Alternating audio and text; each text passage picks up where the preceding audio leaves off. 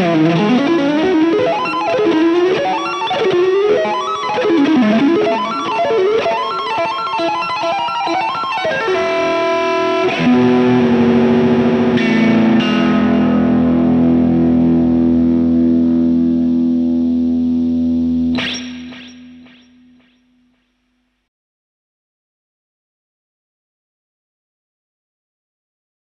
Hi there guys, it's Rick here and welcome to the latest episode of Shred Training.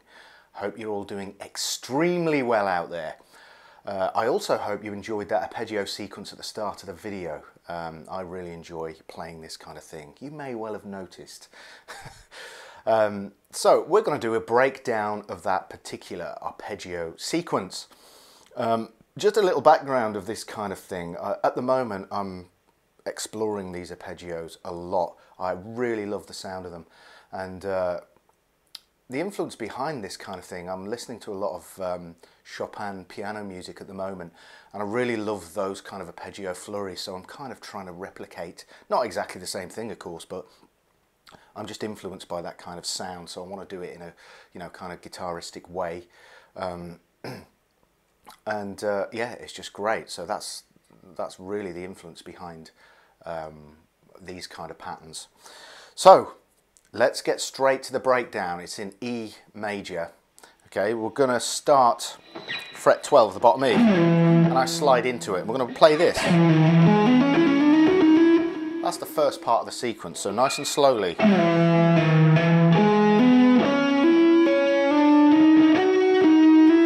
can pick it however you want, you know. Um, it doesn't really matter. As long as you're getting the sound that you're going for, you know, and I think you should prioritize that above, you know, speed or anything. Um, you know, it's because it's the way that you articulate what you play that really, really matters, you know. So anyway, babbling on a bit.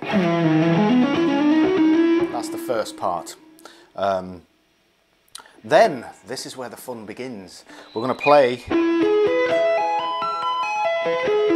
an extended E major arpeggio. So you know this, if you watch my series a lot, you'll know this kind of shape because I do this extended shape a lot. So we have to get that stretch on the top E string and tap at 24 and then pull off. At this point, we're going to pull off to 13, hammer on, and then slide into the next position. Okay. Uh, at speed, that's going to take quite a bit of practice to get fluid. It's quite difficult.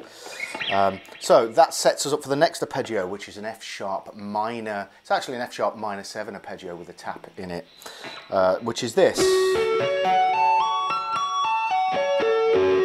Okay, that's the thing I love about these arpeggios on the upper register. You can create a lot of colour by adding different extensions with the tap notes and you know extra fingers just change the shapes a little bit and you can make some really colourful, colourful sounds, you know, with these. So F sharp minor seven again. Same as we did before at this point. That's going to take us to a G sharp minor arpeggio. But this time we're going to change the upper register of it and we're going to play so we're going to play root, third, fourth, and then tap the fifth. Okay, 16, 19, 21, 23, okay? Then go to descend as you would uh, just a straight G sharp minor shape here. But this time we're going to play, okay, so.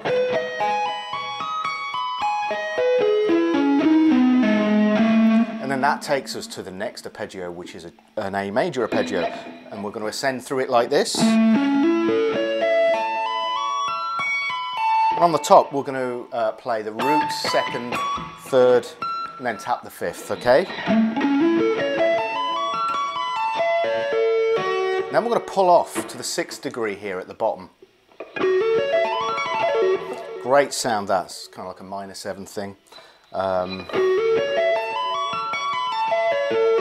what we're going to do here is hammer on uh, and go back up 16, 18, 19. Then we're going to play an A minor arpeggio. And at the top we're going to do roots, second, third, fifth. So we kind of like got a, a nice melodic minor vibe going on here. Pull off to the open string, then back on and we're going to play thirds, but tap at the top. Okay, the next shape, just move it down a step. Okay. Again, down a step, so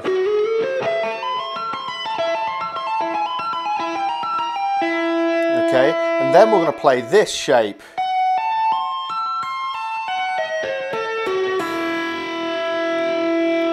Okay, so from here,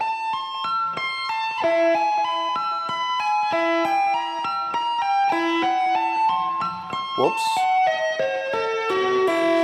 So from here, what we got here, 14, 17, 20, 24. Make sure get, you get these taps.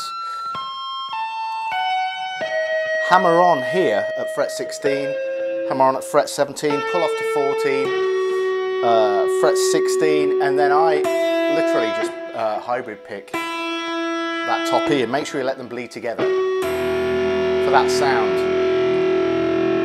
Okay, now the next part which I really enjoy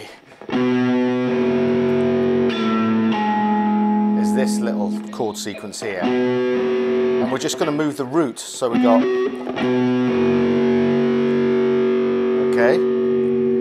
Um, and all I'm doing is sliding the first finger down a fret and then moving the whole thing down a tone. To the D uh, sorry the E okay and that's the whole sequence um, it's a lot of practice but it's a hell of a lot of fun doing so anyway I hope you've enjoyed this episode of Shred Training and stay tuned for the next one coming very soon. If you enjoyed the video, don't forget to leave a like and uh, share the video wherever you can. All right, guys, thanks for watching. Take care. See you soon.